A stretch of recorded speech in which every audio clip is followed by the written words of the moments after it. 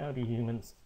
Um, if you're doing vellum draping, you might have come across the problem of um, points um, out of order when you're trying to stitch them or weld them together for the seam. So to illustrate the point, I've got two panels here, front and back. Um, now by default, they are ordered but let's just pretend it's a bad day and they're all out of order. So you can see my top seam so out of whack. And so so is my left seam there's no order. And I've done the same for the um, back panel. Randomize everything. And different resolution now for the back one, you don't have to actually define the seam.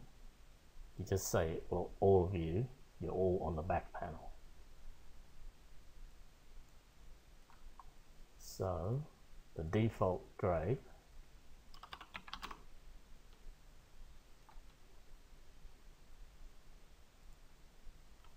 will give you this. So let's say you're doing the top one first and you're doing something like this and you know already it's not going to work because it's all randomized. So it's not going to match up. Now you could do this manually like this.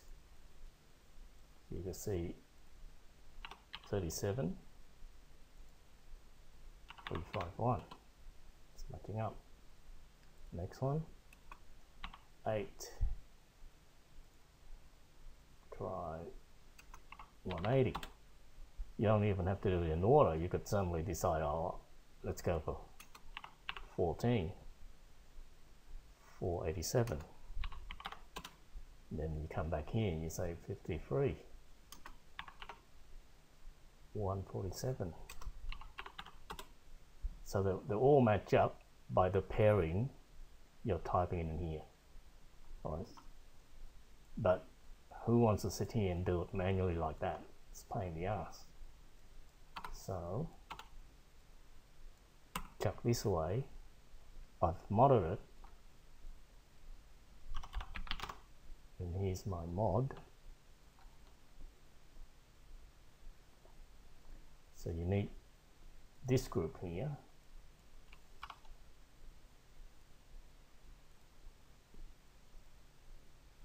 Chuck it on the target group. Top one, left one. Just works. Order. And of course, search distance. Tells you how far to look.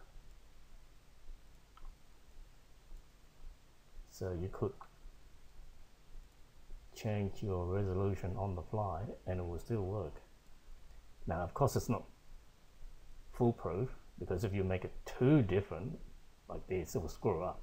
But realistically you're not going to be doing that. You want your two pieces of cloth to be pretty much matching. So they should work like that order. So um, save you a lot of manual work. Um, I'll upload this soon and I'll give you a link soon. Okay? Cheers.